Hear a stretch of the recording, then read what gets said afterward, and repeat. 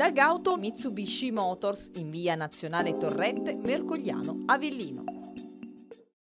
Stenta ad entrare nel vivo il dibattito sulle candidature al comune di Avellino. Si attendono le decisioni del commissario prefettizio sul dissesto o predissesto, una decisione da non prendere a cuor leggero, ribadiscono dalla provincia i sindaci che il dissesto lo hanno già dichiarato. È il caso di Montemiletto dove il sindaco Frongillo si è rimesso ai numeri forniti dai revisori ma che ora deve fare i conti con i tagli dei servizi, tasse al massimo, la scelta è tra alzare bandiera bianca, azzerare e ripartire o spalmare il debito e riprogrammare riprogrammare.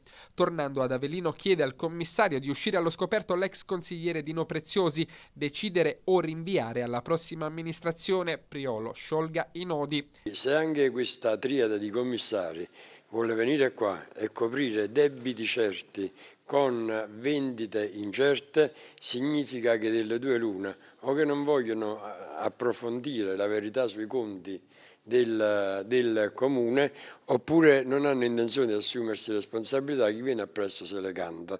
Se si passa un piano di riequilibrio come quello presentato, io penso che sarà bocciato dalla Corte dei Conti e a questo punto mi sorge spontanea la domanda, ma eh, questa triade che sta studiando da due o tre mesi, che cosa sta facendo?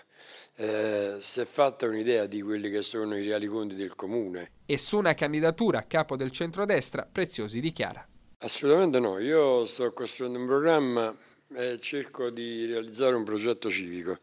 Eh, chi ci vuole stare ci sta, chi non ci vuole stare non ci sta, se non ci riesco eh, non è detto che mi debba candidare.